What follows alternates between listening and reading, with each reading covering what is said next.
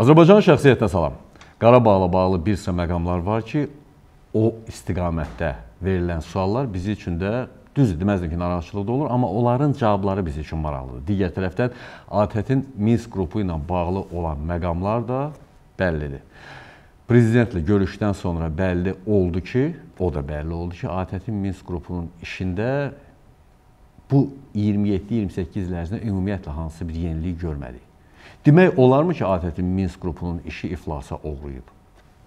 Hər halda bu da bir sualdır mənim üçün və məhz sülh məramlar, ATƏT-in Minsk qrupu Qarabağ tərəfində baş verən məsələlərlə bağlı yaranan suallara cavab vermək üçün real intervyuda Strateji və Beynəlxalq Mərkəzinin direktoru Eldar Namazov qonaq qismindədir və Eldar müəllimlə bu istiqamətdə danışa bilər. Eldar müəllim, hər vaxtınız xeyir, xoş gəlmisiniz. Təşəkkür edirəm dəvətinizə görə. Buyurun.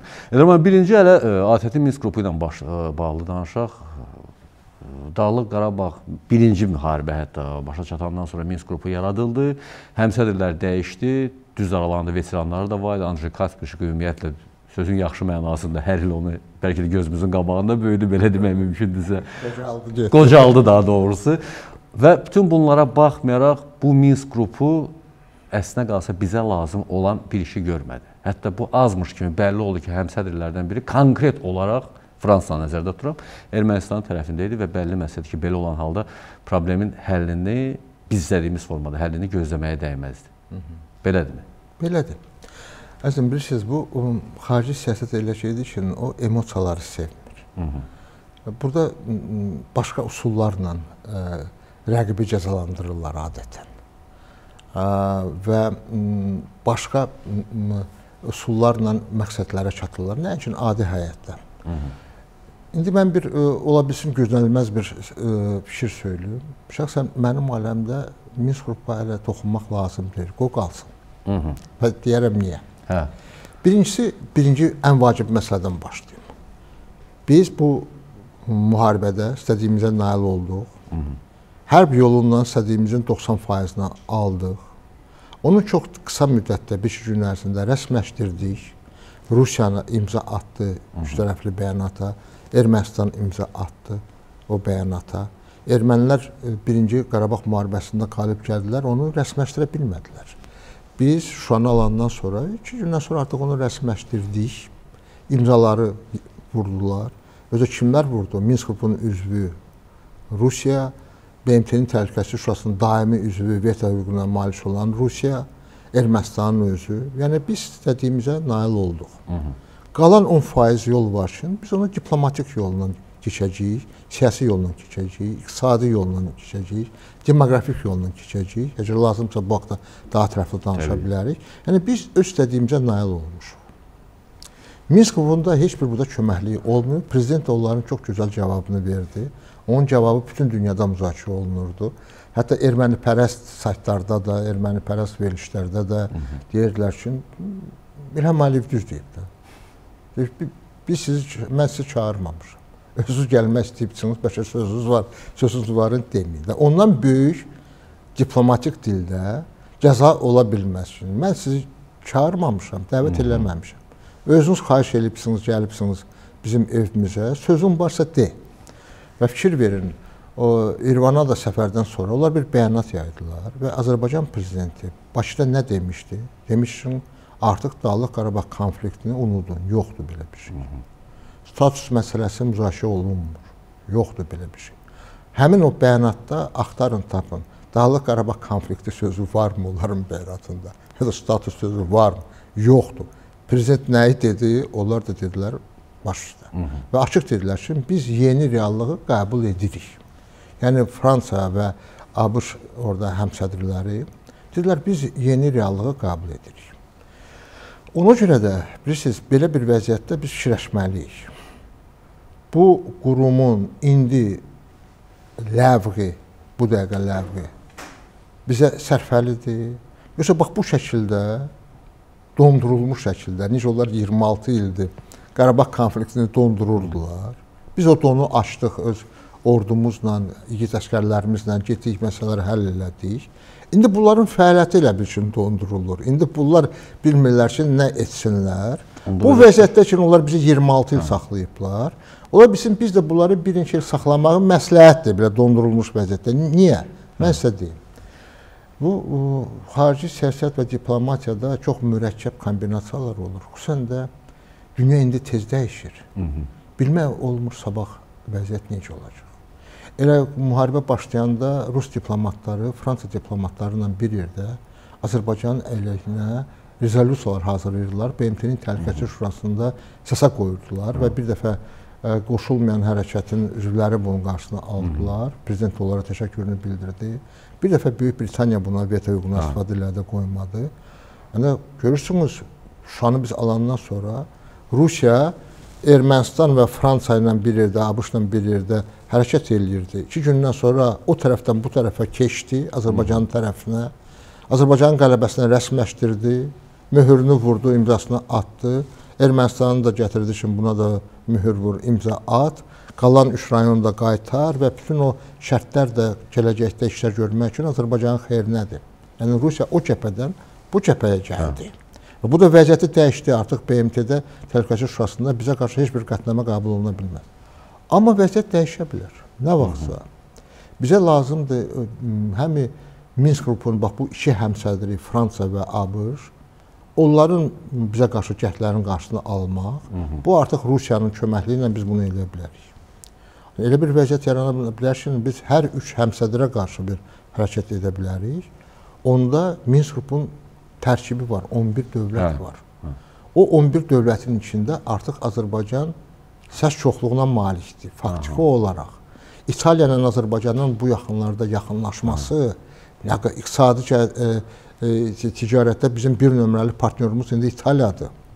İtaliyanın müxtəlif şəhərlərinin bələdiyyələri bəyanatlar verirlər, deməli rezolyusiyalar çıxardırlar Azərbaycanın xeyrinə. Necə Fransada ermənilərin xeyrinə ki, belə bələdiyyələr, merlər belə bir bəyanatlar verirlər. İtaliyada isə Azərbaycanın xeyrinə verirlər. İtaliyanın senatorları Azərbaycanın dəstəkləyirlər, bəyanatlar verirlər. İtaliyanın hökumət nümayəndələri Bakıya səfər edirlər. Hı -hı. Nəyə görə bu baş verir? Birincisi İtaliya Avropanın böyük bu dörtlüyü qalıb. Əvvəllər beşli idi, hə, böyük dörtlü idi. O böyük dörtlüyün birinin üzvüdür. Həm Almaniyadır, həm Fransadır, İspaniyadır, İtaliyadır. Hı -hı. Və Minsk-Qrupun üzvüdür.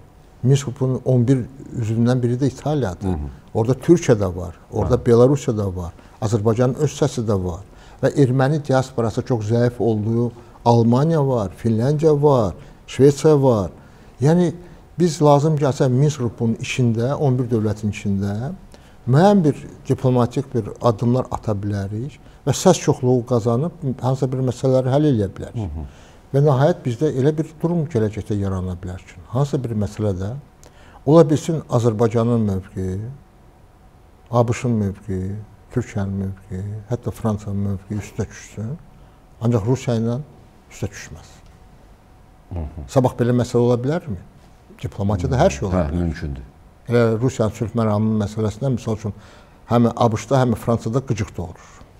Razı. Biz buna razı olduq. Ona görə bizim üçün vacib idi indi qələbəmizi rəsmiləşdirmək, ə, müharibəsiz, içkisiz o üç rayonu da götürmək, gələcək işləri də görmək. Ancaq bu xəritə bir ə, ə, qalmaqalı oldu. Hə. Gələcəkdə bilmək olmaz 2 ildən sonra nə olacaq, 3 ildən sonra nə olacaq, 4 ildən sonra nə olacaq. Ola biz üçün hansısa elə bir məsələ oldu ki, bizim mövqeyimiz Fransa ilə və ABŞ-la üstə düşdü. Və biz Azərbaycanda, Türkiyədə, ABŞ-da, Fransa dedi ki, bu ağdır, bir dənə Rusiya dedi bu qaradır. Belə variantlar gələcəkdə ola bilərmi? Ola bilər. İndi bu Minsk qrupu bax bu dondurulmuş vəziyyətdədir. Bizim işlərimizə mane ola bilməz. Hı -hı. Lazım gəlsə biz o 11 ölkənin səs səs verməyə çıxardarıq 11 ölkənin içində səs çoxluğundan da hansı bir məsələni həll edə bilərik. Lazım gəlsə gələcəkdə biz Minsk qrupunun həmsədrlərindən hansı bir məsələdə istifadə edə bilərik, başqalarından da. Ona görə əgər bu gün Minsk qrupunun bizə bir ziyanı dəyə bilmirsə, qalsın. 26 ildir bizə deyirlər vəziyyət dondurulub. Biz də onlara hələlik deyək ki, siz ölməyibsiniz. sizi biz bastırmırıq. Ancaq dondurmuşuq sizi. Lazım gələndə donunuzu açacağıq. Anladım. Elə Diplomatiyada mənə üçün hər şeyə hazır olmaq lazımdır. Yaxın 3 ili, 5 ili, 10 ili nəzərə alıb addımlar atmaq lazımdır. Bu mənada o cəzanı üçün Azərbaycan prezidenti onlara verdi. Hə. Mən hesab edirəm ki, kifayət qədər adekvat bir cəza cəza idi. Onlar da bunu qəbul elədilər. Hı -hı. faktiki olaraq dedilər ki, ərki çatır, düz deyir. Biz reallıqları qəbul edirik və artıq onların bəyanatlarında Azərbaycan prezidenti nə edir üçün orada ola bilməz, onlar da yoxdur. Onda elə söhbət bizim bu söhbət əsnasında da mən ATƏT-in Minsk qrupu ilə bağlı məqamı dondurub başqa bir məqama keçmək istəyirəm. söhbət nədən gedir? Məs cəmiyyətdə son zamanlar eyni zamanda Rusiya sülh məramları xəritə məsələsi, həmin o qalmaqal və digər tərəfdən ermənilərin hələ də yaşadığı müəyyən ərazilər var ki, onlarla bağlı suallar həddən artıq çoxdur. Sosial şəbəkədə bunlara cavab verə bilirsən, bir qisminə, bir qismi öz istədiyini düşünür Bəli. və başa sala bilmirsən ki, əslində qalsa burada hansı məqamlar var. Eldar müəllim, hansı məqamlar var? Düzdür, sülh məramlar, xəritə və ermənilərin yaşadığı müəyyən ərazilər. Mən bu başdan vacib bir məqamı qeyd edeyim. Azərbaycan cəmiyyəti gərək anlasın ki, Biz artıq yeni bir mərhələyə qədəm qoyuruq. Biz hərb yolundan istədiyimizin 90%-ni götürdük. 10%-ni diplomatik, iqtisadi, demoqratik yolla götürürük. Və bu ona görə bir belə bölgü oldu ki, biz qələbəmizi rəsmiləşdirə bilək. Artıq bizim qələbəmiz rəsmiləşdirilib. Bu çox önəmli məsələdir. Ermənilər ki 26 il rəsmiləşdirmədilər, axırı belə oldu ki, Putin özlərinə dedi ki, kim tanıyıb bunları? Heç kim onları tanıyıb. Bizimsə qələbəmizi artıq dünya tanıyır. Möhür vurulur. Möhür vurulur. Ona görə də bu vacib idi. Belə bir məqamda təbii ki, başqa üsullarla biz hərəkət eləyəcəyik. Və burada mübarizə davam edir. Müharibə qutarıb. Mübarizə davam edir. Və orada da təhlükələr də var, orada da təxribatlar da var, orada da risklər də var. Biz o strategiyanı indi açıb cəmiyyətlə açıq danışmalıyıq ki, cəmaatı heç kim aldığı bilməsin. Bəli, bəzi adamlar var, öz konjunktur maraqlarına hə. görə başlayırlar əmr hakimi qaldırmağa, eləməyə. Halbuki nə problemi bilirlər, nə pərdə arxasında nə baş verir, onu da bilmirlər. Söhbət nə gedir? Birincisi vacib məsələ nədir? Adətən belə bir sazişlər imzalananda o üç tərəfli hə. o bəyanat. O sülh yolundan olanda, danışıqlar yolundan olanda, adətən bu danışıqlar 1 ay, 2 ay, 3 ay hə. davam edir.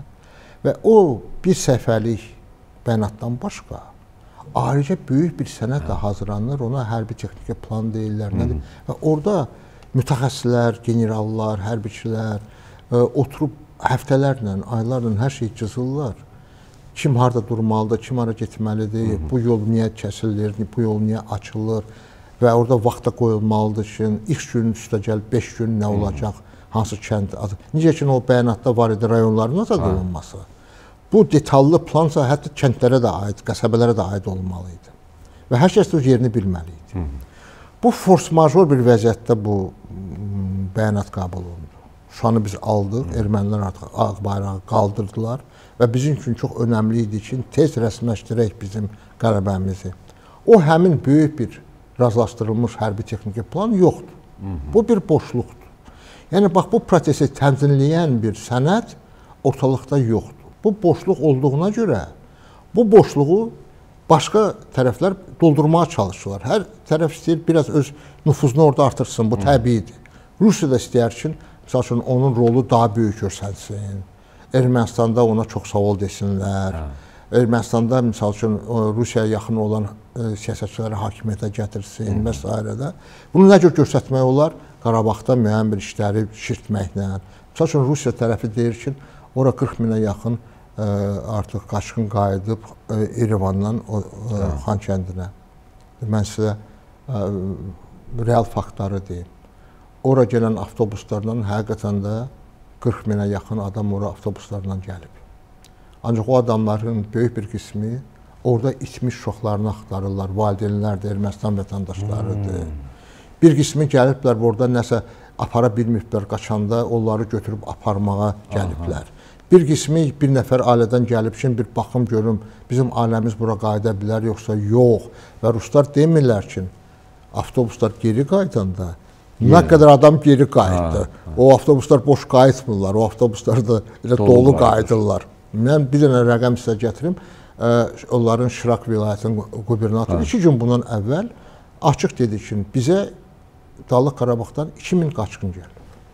O 2000 qaçqının 700-ü qayıdıb. Hı -hı. Yəni üçdə biri. 70 faizi oradadır.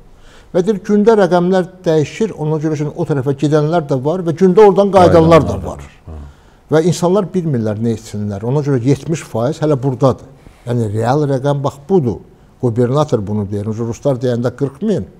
O yalnız bir tərəfli o şotçiki qurur ki, oradan bura nə qədər gəldi. Ancaq o həmin avtobuslarla nə qədər geri qayıtdı. Sayğac işləmir. Onu işləmir, onu elan eləmirlər. Öz məqsədlərinə görə bu, bu Ermənistanda bir e, yaratsınlar özləri haqqında müəyyən bir imij və s. İndi bax deyirəm, o sənəd olmadığına görə o boşluqları var. Hı. Və onda reallıqda bilirsiniz, e, bu real həyatda o sənəd indi formalaşır. Çünki orada ruslar bir boşluq görürlər, məsələn orada bir post qururlar.